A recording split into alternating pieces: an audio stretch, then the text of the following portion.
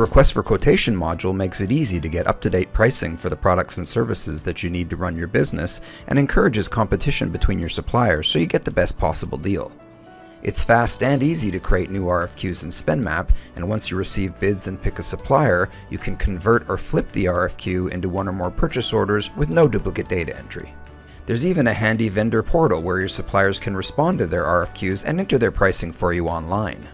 If you're using the optional requisitions and approvals module and need to get price quotes before actually placing orders with your suppliers, approved requisitions can be converted or flipped into RFQs rather than building purchase orders from requisitions directly.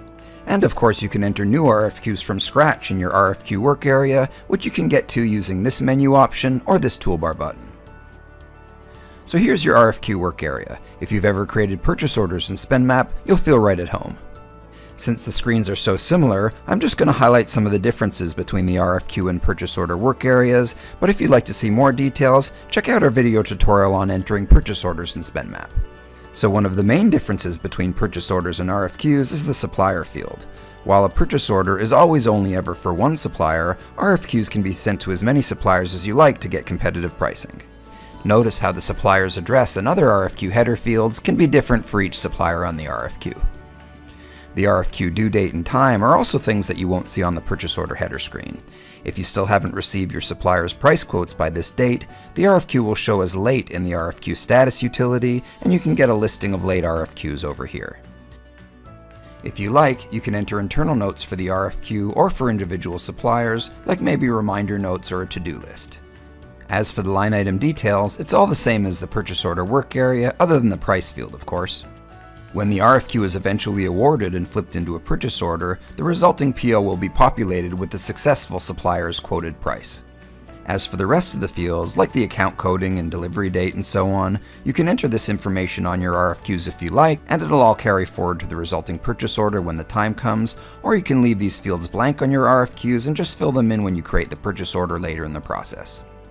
Another difference you'll notice between POs and RFQs is the way the forms look.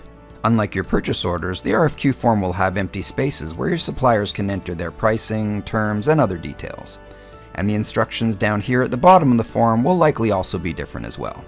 And just as a reminder, in addition to printing or emailing your RFQ forms to your suppliers for them to fill out and send back to you, they can also use SpendMap's vendor portal to review their RFQs and submit their pricing online instead.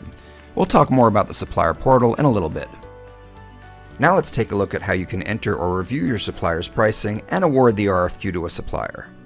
And again, if your suppliers are using the supplier portal, all the data entry will be done for you, and all you need to do is award the order to the supplier with the best offer.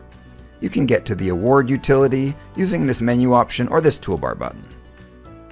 So here's a list of all the open RFQs in the system. If an RFQ in the list is red, it's because it's late, meaning that it's past the RFQ due date and the bids still haven't come in. I'll double click to drill into this RFQ, and here's a list of all the line items that we need pricing on. Let's take a look at the details of one of these line items.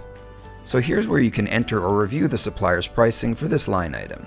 Again, you can enter the pricing, delivery date, terms, and other details in here manually, or your suppliers can do the data entry for you in the supplier portal.